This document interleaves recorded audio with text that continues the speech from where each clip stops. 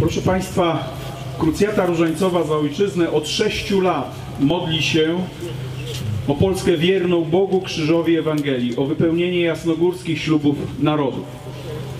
Tak jak Państwo to będą mogli y, zobaczyć na tych ulotkach, y, krótki sposób informujących o tym, czym jest Krucjata Różańcowa za Ojczyznę. Chodzi o to, żebyśmy chociaż jeden dziesiątek różańca dziennie odmówili. Chociaż jeden dziesiątek różańca. To jest raptem 5 minut. Matka Najświętsza w Gietrzwałdzie, w Lourdes czy wszędzie, gdziekolwiek się objawiała, mówimy oczywiście o uznanych objawieniach, a nie o tych pseudo różnego rodzaju objawieniach. Wszędzie mówiła, żądam, abyście codziennie odmawiali różaniec. Wskazywały, wskazywała na te czasy, ciężkie czasy, które nad, nadeszły, chociażby w objawieniach uznanych w Akita, gdzie mówiła o strasznym kryzysie, o apostazji, o tym, że będą czasy, w których biskup wystąpi przeciwko biskupowi, kardynał przeciwko kardynałowi. My to widzimy. I wskazywała, że jedynym ratunkiem dla nas będzie odmawianie różańca świętego. Tak jak tutaj mój przedmówca mówił, musimy się modlić. Bez modlitwy różańcowej nie będzie odzyskania wolności, nie będzie odzyskania suwerenności i odzyskania niepodległości. Także nasz apel o to i dlatego od 6 lat gromadzimy się tutaj zawsze 11 listopada, żeby odmówić Różaniec Święty za naszą ojczyznę, a szczególnie za władze ustawodawcze. Chodzi o to, żeby modem. Czy jest efekt? Można powiedzieć, jakiś efekt jest. Są zapoczątkowane pewne zmiany, są zapoczątkowane, brak jest jakiejś odwagi, brak jest śmiałości. Jeśli nie będziemy modlić się na różańcu, to przegramy. Duch e, uległości, duch poddaństwa, duch e, zniewolenia zapanuje nad Polską, tak jak zapanował nad wieloma krajami dawniej chrześcijańskimi na, w Europie Zachodniej. Dlatego potrzebna jest ta modlitwa różańcowa. To jest raptem naprawdę jeden dziesiątek różańca dziennie. Oczywiście dla wielu z tych, którzy zaczęli, później to przerodziło się w głęboką y, i po prostu modlitwę różańcową, y, zakochanie się właśnie w różańcu, zakochanie się po prostu w tej prawdzie e, w Jezusie Chrystusie, w Kościele Świętym Apostolskim. Więc, ale trzeba od czegoś zacząć.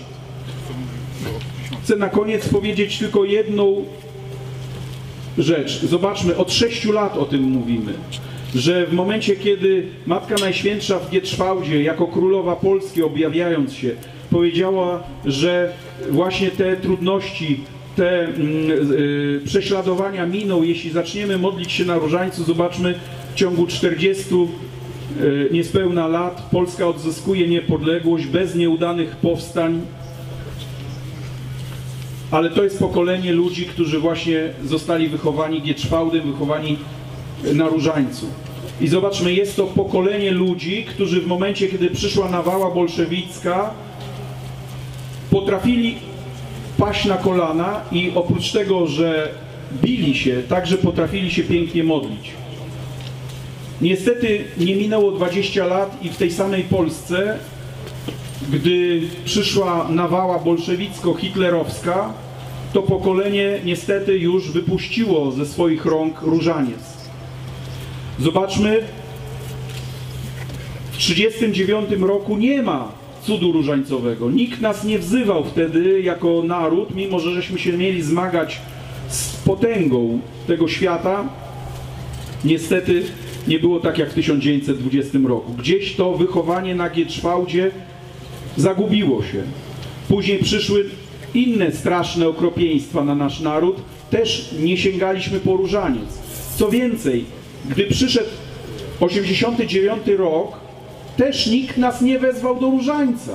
Mimo, że żeśmy mieli odzyskać wolność, odzyskać niepodległość, mieliśmy odzyskać nasze państwo Polskę. I co? Głośną było tylko o tym, że pierwszy milion trzeba ukraść. I cała, całe epatowanie nas ideologią i mentalnością wrogą świętej wierze katolickiej. Doszliśmy w tej chwili do takiej sytuacji, że jeśli my jako zwykli ojcowie rodzin, matki, osamotnieni w tym zmaganiu się o przyszłość naszych dzieci, jeśli my nie weźmiemy tego różańca, no to niestety nikt nas do tego nie wezwie. Także przemyślmy to i y, bądźmy apostołami Różańca Świętego. Nie wiem, to też jest zastanawiające. Zobaczmy, że Matka Najświętsza mówi, że tylko w Różańcu pozostanie ratunek. To znaczy, że prawdopodobnie w tych innych rzeczach, które poprzednie pokolenia miały ratunek, nawet być może we mszy świętej, tego ratunku już takiego nie będzie. I zobaczmy tutaj tą naszą, e, ten nasz ołtarz, który żeśmy przygotowali, tak? On teraz wygląda jak ołtarze na Kresach Rzeczypospolitej, która dostała się w niewolę bolszewicką. Też gromadzili się Polacy, też był wykładany or, ornat na, mm, na ołtarz, ponieważ nie było kapłana, nie można było odprawiać mszy świętych, tych, tych mszy świętych apostolskich. I taką mamy dzisiaj w tej chwili nawet sytuację. I właśnie zostaje nam różaniec. Może to jest symbo- symboliczna ta sytuacja, w której się teraz właśnie znaleźliśmy, że praktycznie nie będziemy mogli odprawić tutaj, nie będziemy mogli słu- wysłuchać mszy świętej, nie będziemy mogli w niej uczestniczyć, ale będziemy mogli modlić się na różańcu.